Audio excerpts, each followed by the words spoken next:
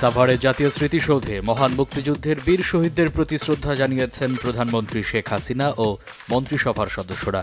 শ্রদ্ধা জানিয়েছেন বঙ্গবন্ধুর প্রতিকৃতিতেও সড়ক পরিবহন ও সেতুমন্ত্রী ওবায়দুল কাদের বলেছেন, নির্বাচন ইশতেহার বাস্তবায়নই সরকারের প্রধান লক্ষ্য।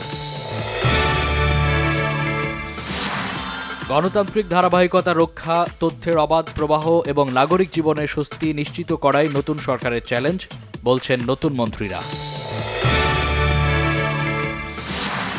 বিএনপির সিনিয়র যুগ্ম মহাসচিব রুহুল কবির রিজভি বলেছেন, তড়িঘড়ি করে নতুন মন্ত্রিসভার শপথ বলে দেয়, সরকার কতটা ভীত হয়ে পড়েছে। আবারও অস্থিরতা চালের বাজারে। মানভেদে কোনো কোনো চালের দাম বেড়েছে দুই থেকে ছয় টাকা পর্যন্ত। বেড়েছে মুরগি আর মাছের দামও। শীত জেকে বসেছে সারা দেশে। বৃষ্টির মতো কুয়াশা ঝরছে, দেখা মিলছে না সূর্যের, হাসপাতালে বাড়ছে শীতজনিত রোগী।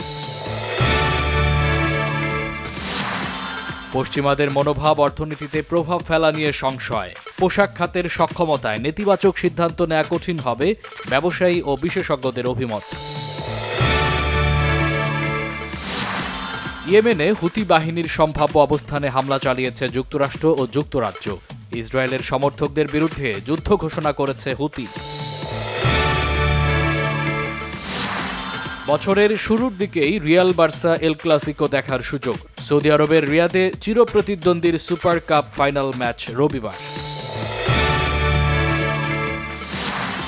এশিয়ার ফুটবল শ্রেষ্ঠত্বের লড়াই এশিয়ান কাপ মাঠে গড়াচ্ছে আজ। রাত নয়টায় উদ্বোধনী ম্যাচে মুখোমুখি হবে স্বাগতিক কাতার ও লেবানন।